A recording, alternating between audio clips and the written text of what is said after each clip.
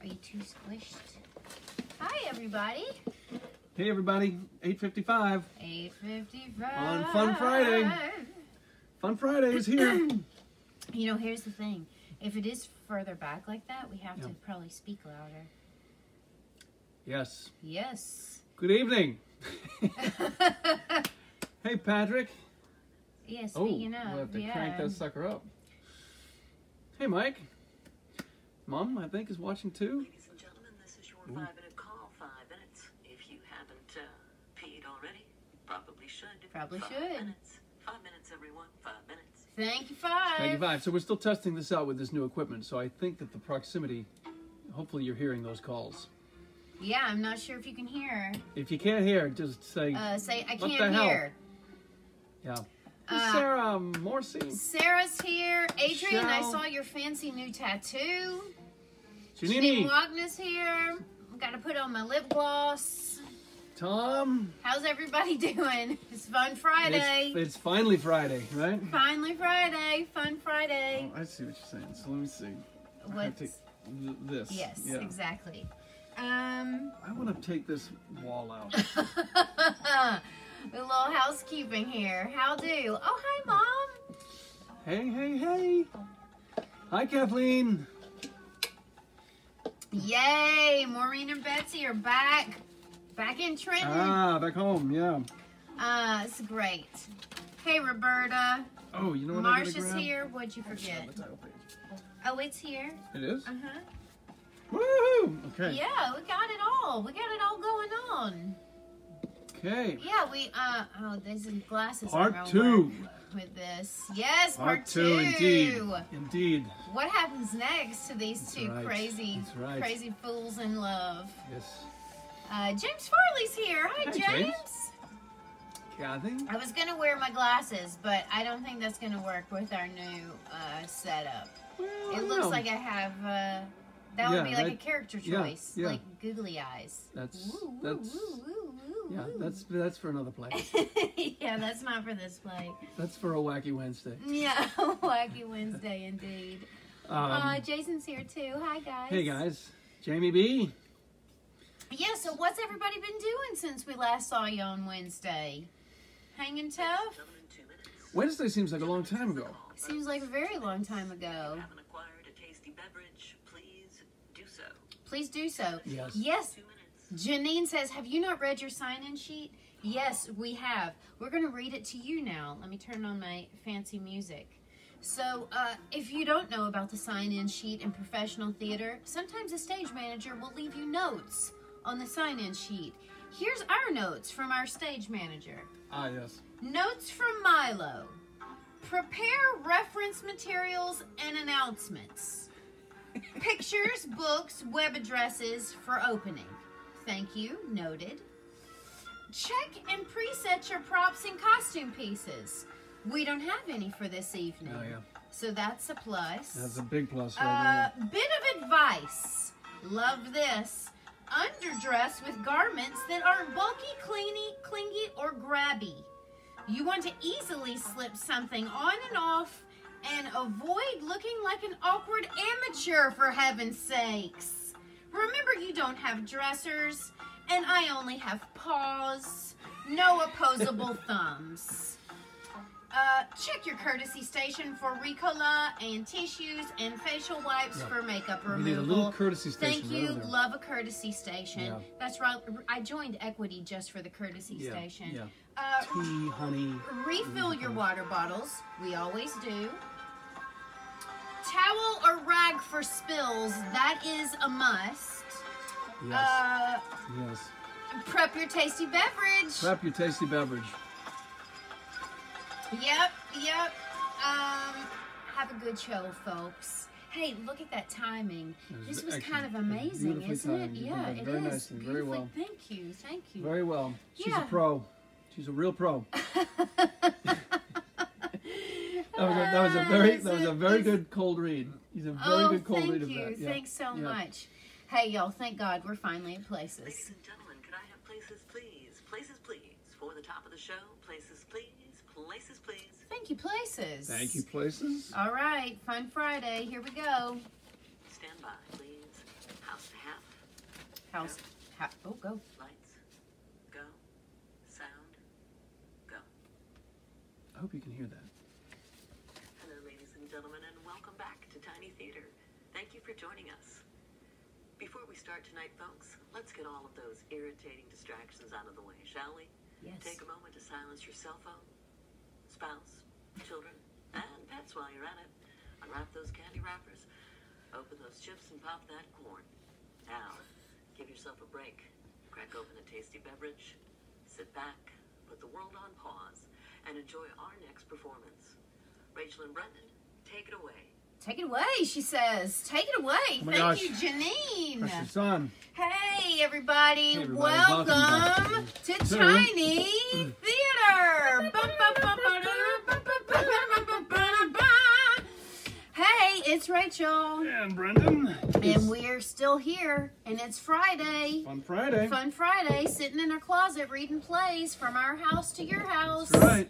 Uh, we hope y'all had a, a good Yeah, that's week. not going to work. Okay, well, we'll just do something different. It's all about the improvisation here in Tiny Theater. We're Yeah. just Yeah. bending and swaying with the bamboo here. That's right. Uh, so right. yeah, we hope everybody's had a good week. Um, we started uh, with our playwright that we're going to announce right now. Right Let's now. do it. Our playwright tonight is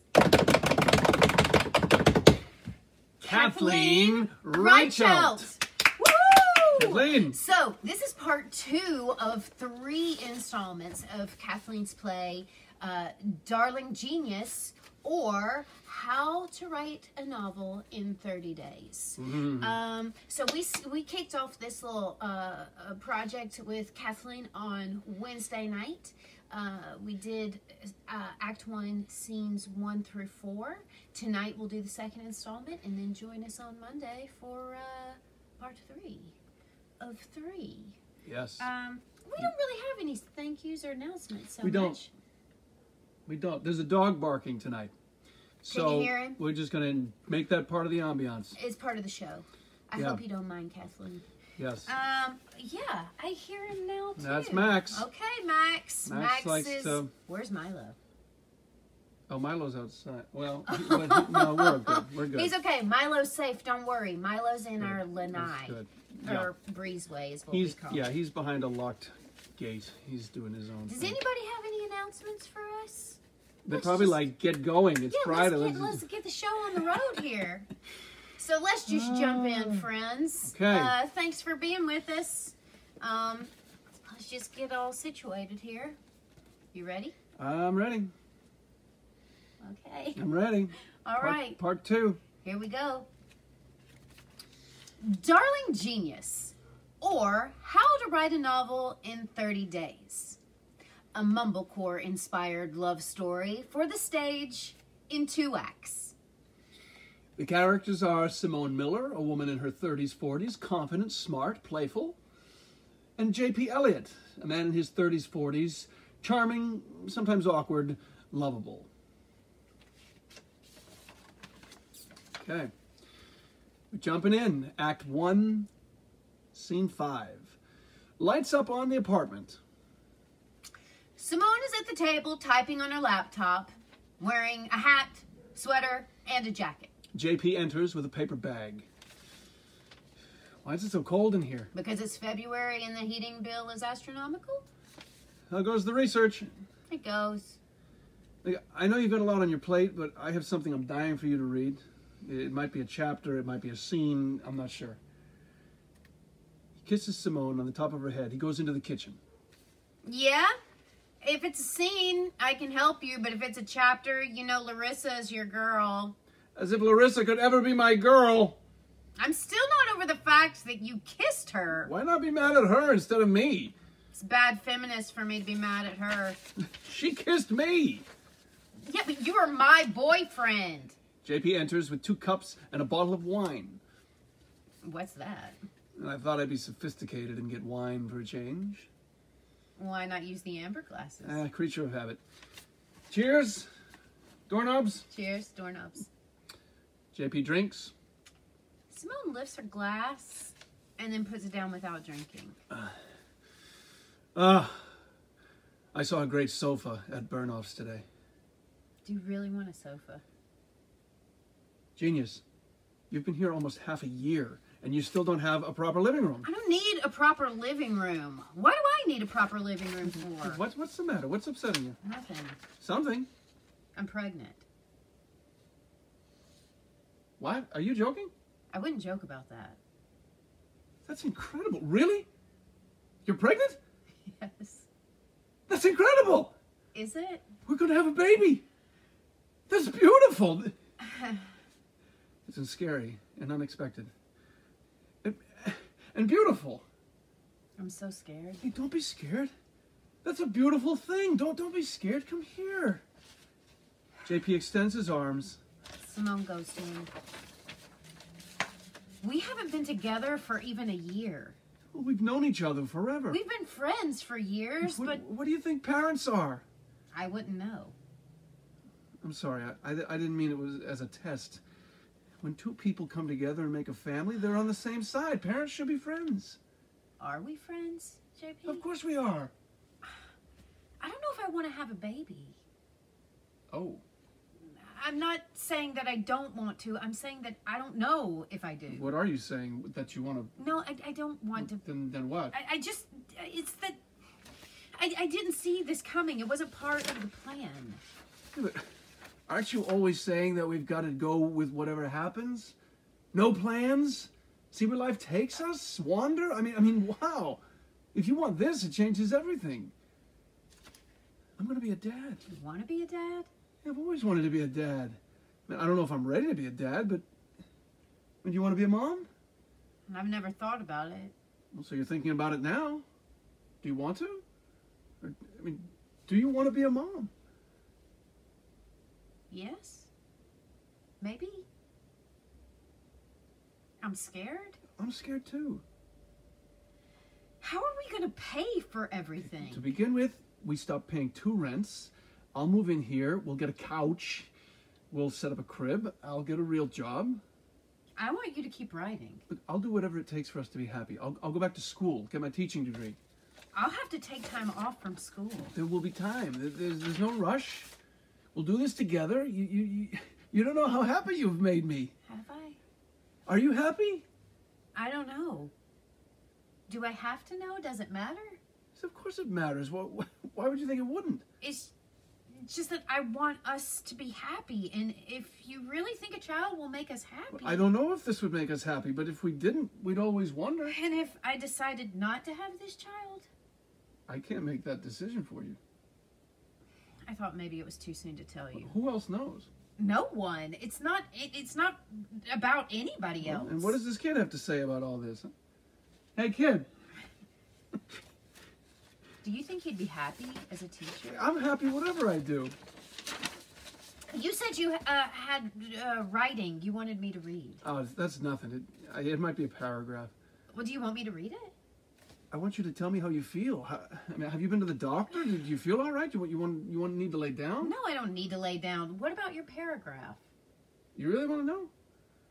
Well, it starts with this old guy uh, who owns a record shop, and this younger guy starts working for him. Now, first they disagree about music, but then he, yeah, can we talk about it later? of course, Can we lay down for a while? Yeah, of course. Or just lay down standing up? You want to stand up? You know, like when you hold me in your arms and it's like we're laying down, but we're standing? That? We could lay down. I'd rather stand here with you. Simone and JP stand together, holding each other. Okay, is that okay? It's much better.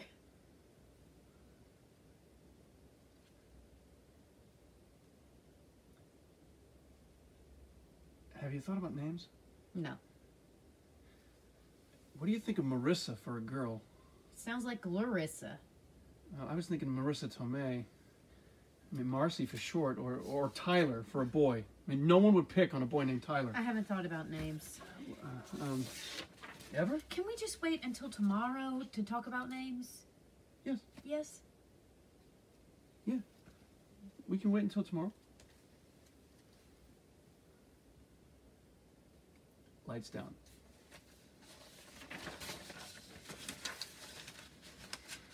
Act one, scene six.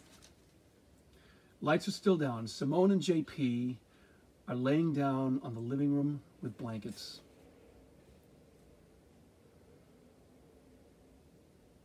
JP. Yeah. You awake? Yeah. You're not just talking in your sleep? I'm awake. What are you thinking about? My dad. What was he like? Uh, he was funny. In his own way, he always had a joke to tell. He worked a lot. He was gone a lot of the time.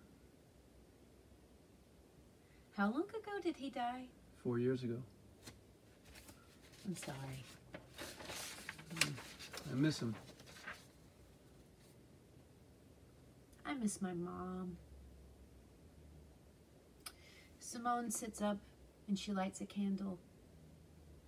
You want me to turn the light on? No, this is good. It's midnight. What happens at midnight? I light a candle at midnight every year on this day in April. It's the day my mom died. You let it burn all night? Yep, Isn't that dangerous? it'll be fine. Is that why we're sleeping out here tonight? The bed is too soft. I can't sleep. We've been together seven months. You know that? I know. Are you happy? Do you want to take a pause? I think it's too late to take a pause. I got my paperwork in for teachers college. You're gonna do that then? Be a teacher? It'll be good for us. Promise me we'll always be us. JP. Just like this. Can we get a couch? We can get a sofa. Why?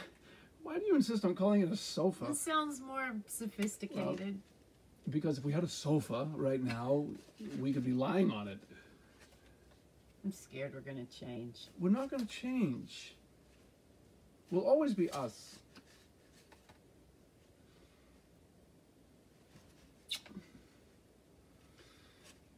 He turns over, goes to sleep.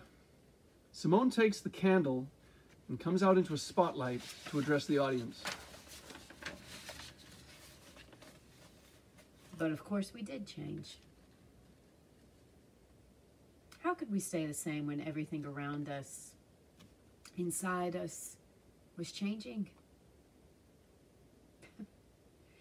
Our son was born in September, the same month we first became us Genius and Darling. We called him Mac. I, I couldn't call him Tyler. I didn't want other kids to be afraid of him. We lived in that apartment for years six, seven, eight years. Mac went to school around the corner. He was interested in sports, maybe because JP and I weren't. We went to JP's mother's for Christmas. She judged everything I did. JP became a teacher, and I finished my degree. We worked, we slept, we got up every day, and did mostly the same thing. And then one day, JP and me weren't us anymore. Not the way we were then. We came apart. We got older. We changed. It was almost unbelievable that two people could go from strangers to friends to two people in love and back to strangers again. We knew each other better than anyone, and then we didn't know each other at all. We realized it at the same time. It was a relief when we finally agreed to take a pause, a separation, a divorce. JP moved out, got his own place nearby, and Mac went back and forth between us. All we talked about was Mac, our schedules, who would pick him up. We found ways for Mac to come and go so we didn't have to see each other. Maybe it hurt too much to see each other. Maybe we reminded each other of who we once were. Younger versions of ourselves with big dreams, writing and acting and dancing to the music in our minds. Those people didn't exist anymore. We became other people. A decade later, everything was different. Blows out the candle. End of Act One.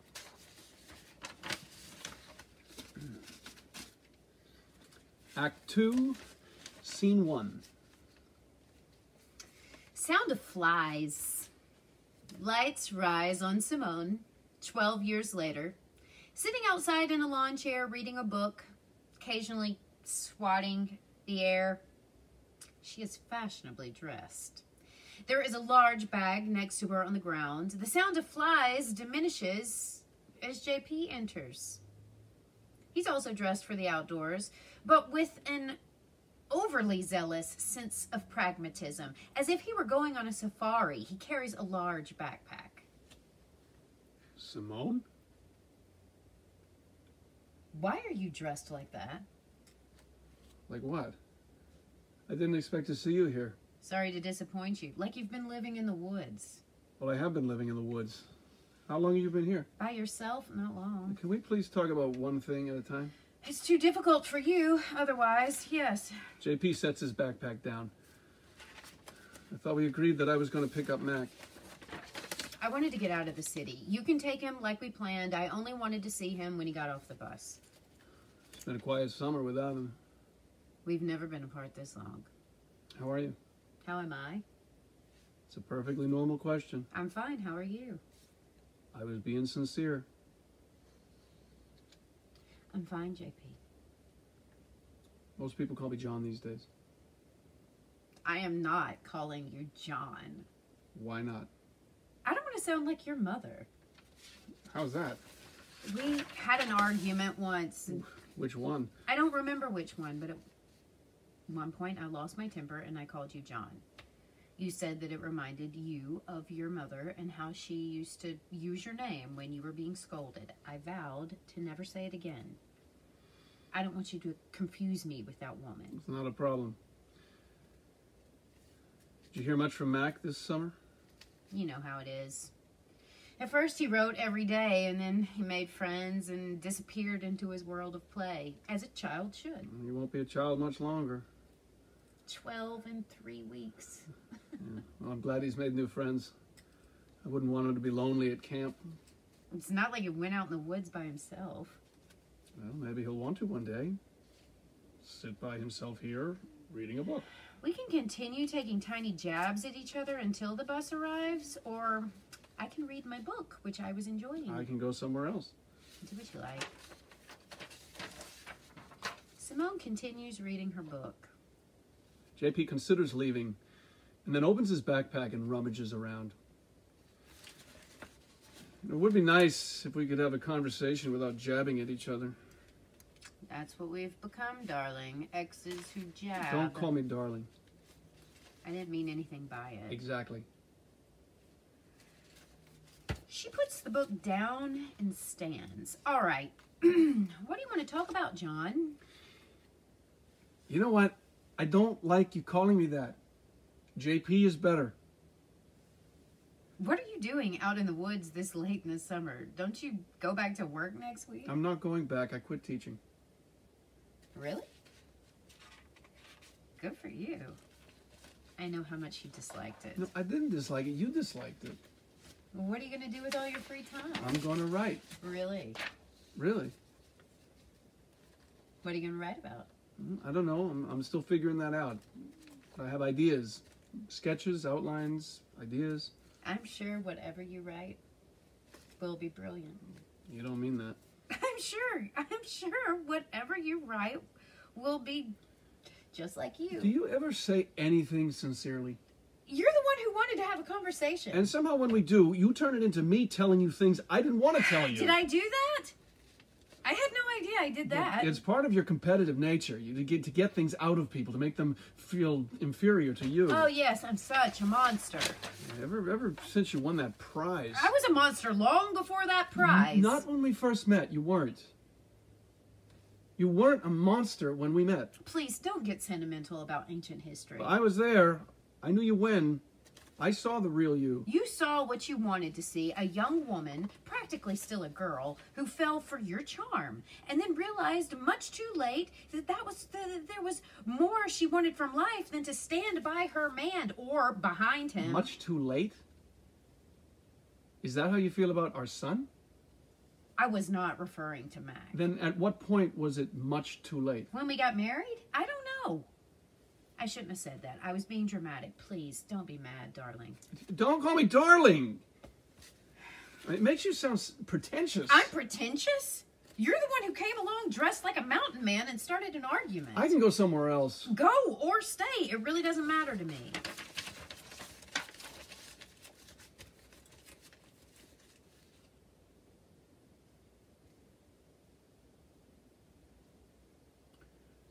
What are you writing these days? Nothing you'd be interested in. Just, just more of that poshy art crap, like you used to call it. I never called your writing poshy art crap. I distinctly remember you calling my writing crap. Well, I'm sure I didn't mean it. You were drunk, if it's an excuse. I don't remember. It was the year before we split. We were living in that little apartment over the bookstore, and your friends were over. Your friends from the band. Why do you say it like that? They were the band. You were anxious, as usual, to impress them with your musical knowledge. I never tried to impress them. So that they would accept you into their clique world of indie rock. Why are you insulting my old band? That you insulted one of my favorite artists just to please them. You're a band. I didn't mean it possessively. Who, who, who did I insult? a jazz musician. You could have just used our instead of my. It's a bad habit. I, I don't remember which one. It doesn't matter now. It was one of many. One of many what? Many of your bad habits, like getting drunk, far drunker than was necessary, and calling my writing poshy art crap while I was in the other room. When you thought I hadn't heard. Just to impress a bunch of slobbering idiots who didn't have the decency to say hello to me in my own house. You wanted to impress them with your vast array of obscurities and let them know that any writing other than the regular pulp fiction of similarly minded writers was crap. There it is. It's your old fear of popular culture. Fear? No. Disdain? Yes. As if you didn't pride yourself on your own obscure musical knowledge of jazz. I mean, the only difference is genre. The only difference is when my friends came around, we didn't call the music you insisted on playing pretentious. I, I, I never insisted on playing music. you were forever controlling the music, the sound, the mood of the room. I was trying to be nice. nice. Yes, yes, taking care of the music so you could relax and talk with your friends. So you could avoid any real intellectual discussions. You oh, mean? What, you mean bitching about the university administration? Bitching? I didn't mean because you were all women, no, of course. and I didn't avoid intellectual discussions. There, was just never an opening for me to participate. You could have just jumped in at any time. It was all terminology. If you were talking about a film, you'd ask, what is media? I mean, how did the camera inform the narration? I mean, you'd, you'd never just say, I liked the soundtrack, or the mm. story was lame, or, or the dialogue was good, or I could relate. You could have said any of that. Oh, and risk the judgment of your friends. There's no difference from when your band boys were over. What, is, is that why we broke up then? Because we didn't like each other's friends? Sure, let's go with that.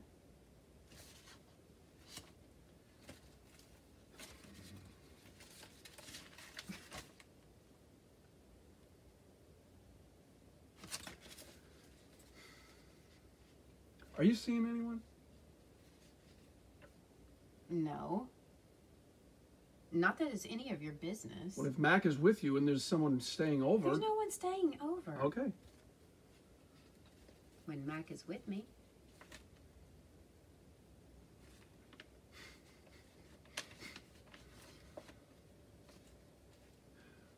Maureen and I are talking about getting married. Good.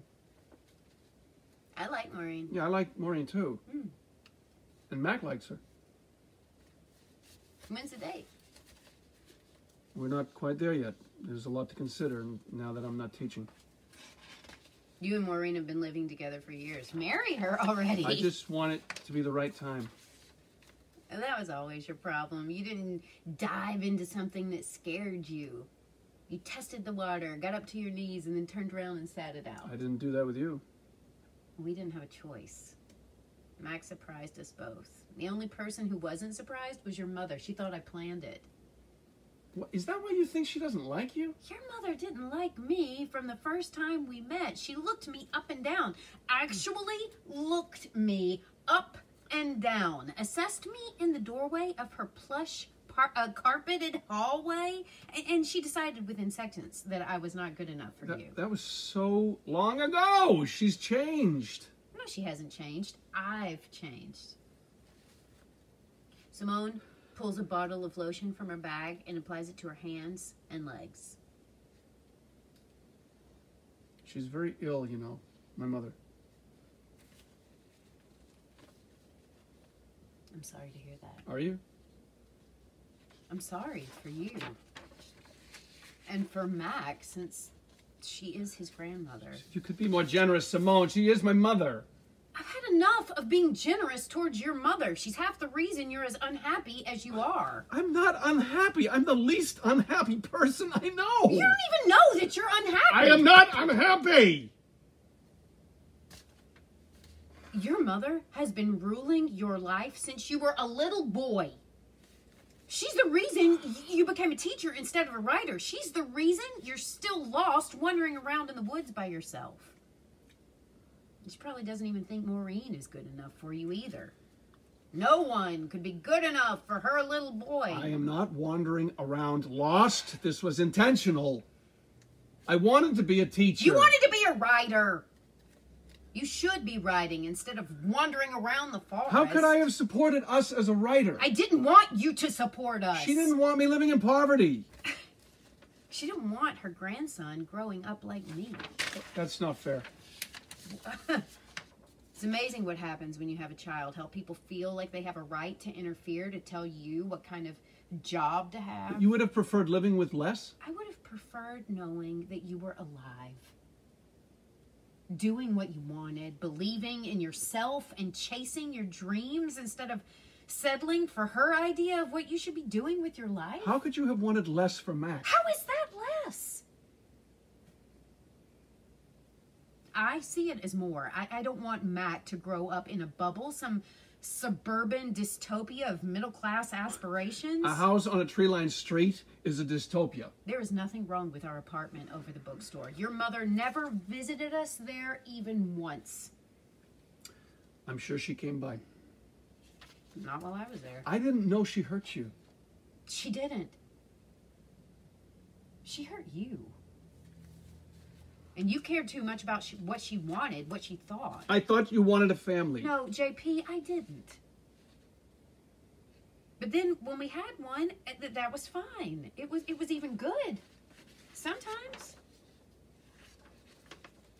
But it's not what I wanted. It's just what happened.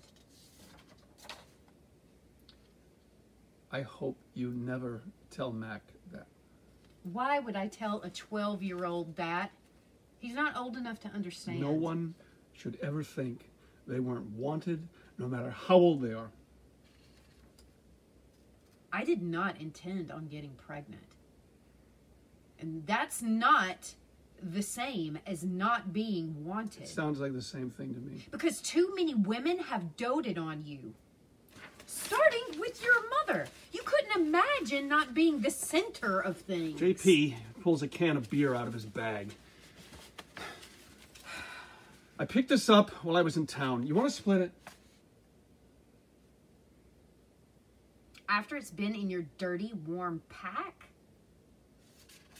No thanks.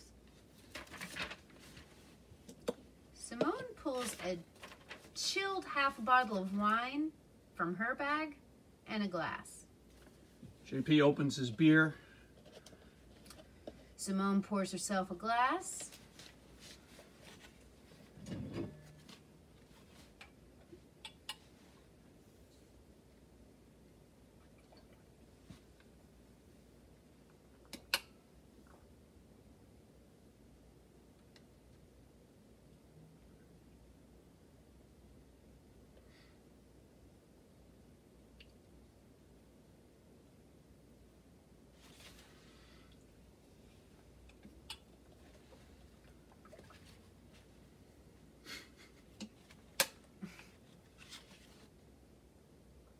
think the other parents are judging us? They wish they'd thought of bringing cocktails too.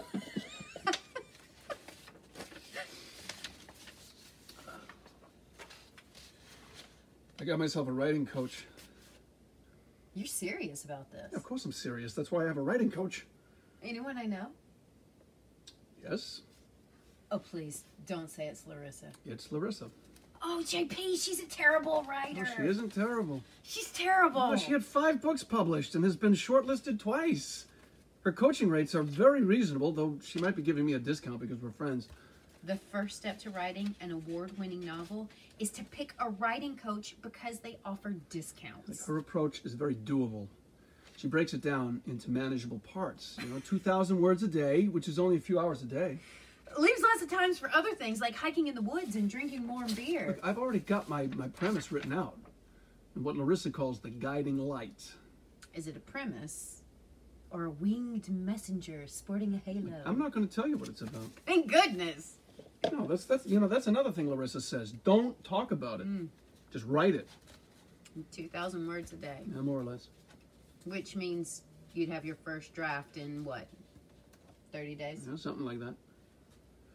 And Larissa has probably also gone over the steps of fleshing out your characters, ordering your chapters, verifying structure, making sure the outline is solid before you begin. Yes. You could have saved yourself money and looked that up on the internet. As any, as someone who has taught for the last decade, I do believe in learning from actual teachers in person. You and Larissa meet in person? Well, no, she lives in Santa Fe. Hey, if that's working for you, then do what works for Yeah, you. but you don't approve. You don't need my approval I know that. I just wonder if your advice would be different. on how to write a novel in 30 days. Yes. I don't write novels, but I wouldn't suggest anything so formulaic. I'd say just write. Very structured. Art isn't a lesson plan. It isn't a setting a timer and fulfilling a word count. Art art is poetic, not bureaucratic. It's messy, unplanned, and then and then sometimes it is planned.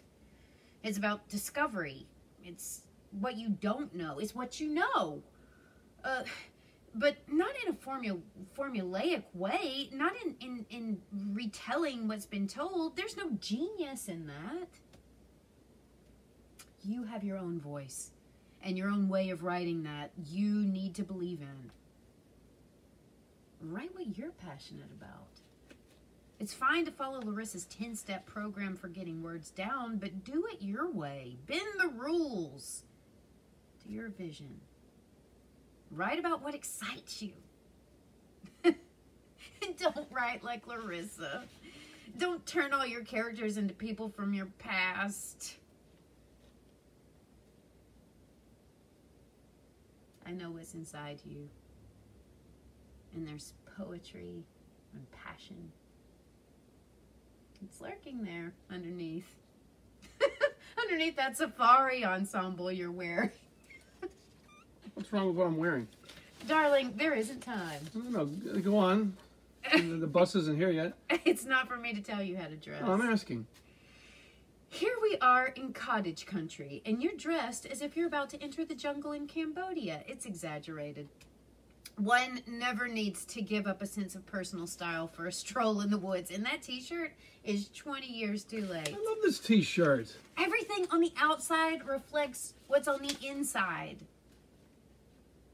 Oh, here comes the bus. Finally, Mac is home. She gather, gathers her things up and folds her chair. Let me say hi first, and then you can have him, okay? Okay. It was good for us to talk again. About writing, at least. It's been a long time since we talked like this. I can't wait, wait to read your novel, JP. I know you'll be br- brilliant. And I am being sincere. Simone waves and runs off stage.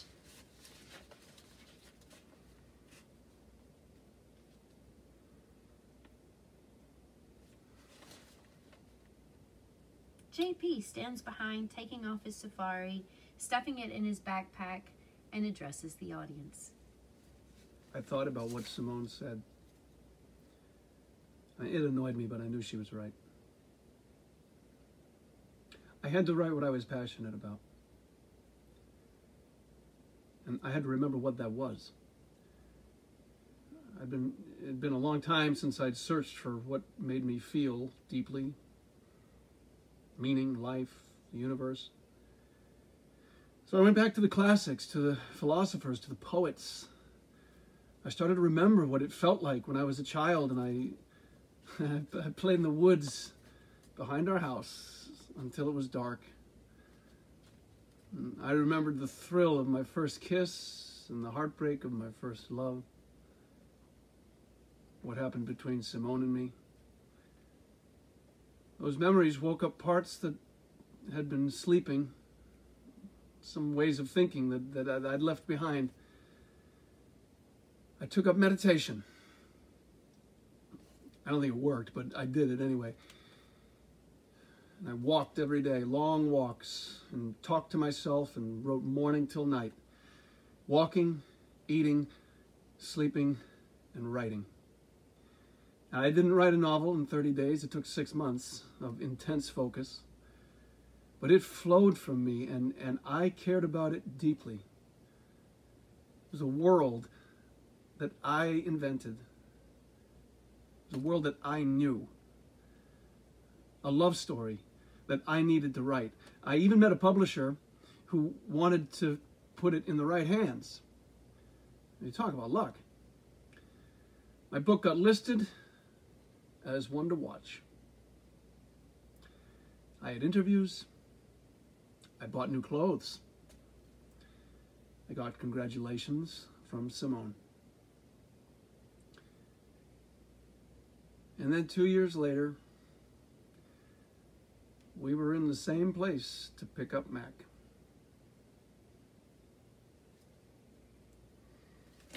And that's, That's all, all you're, gonna, gonna get. get. tonight. That's all you That's get. That's all you get tonight. Part two. Part two, everybody. Part three. Monday night. Part three, Monday night. The exciting conclusion. Yes. What a fun play. What a beautiful, beautiful, beautiful piece of writing.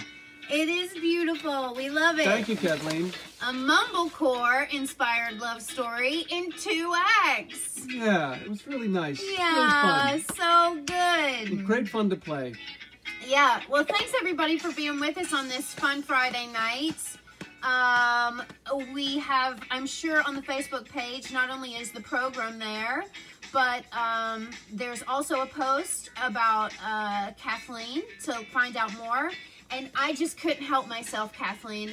I made a special post about your visual art. So Yes. there's photos of some of Kathleen's paintings and some of her multimedia pieces. Um, and so I encourage you all, there's a link specifically to her um, visual art page on her website. Her work is so beautiful. So uh, check out her artwork because not only is she a hell of a writer, she is a hell of a visual artist Right on. as well as a filmmaker. She has great films that we'll talk about uh, on Monday. So, uh, you know, you know, you guys, we always do a special toast at the end of the show. This is like cool number 34, episode 34. But we're mixing it up a little bit here tonight. Uh, it goes without saying that the world is one crazy ass place. And uh, it's okay. This is going to be a happy one. Yeah. yeah. And so, um, so we don't need to get into all of that because we come to the theater to talk about something else. But instead of a toast tonight, we're giving you a challenge. So all you folks out there watching, uh, we got a letter in the mail today, a handwritten letter. When's the last time you got a handwritten letter in the mail? and it was a multiple page letter from some really dear friends of ours in California, fellow artists, uh, Brittany and Phil. And Phil said something so beautiful in this letter to me that it's inspired me to share it with all of you. So, uh, here's your challenge make something beautiful, make something good. Let me make some more music here. Hold on a second. Can you make this happen? Okay. Um, make something beautiful, make something good. Here it is, y'all. Add rather than subtracting.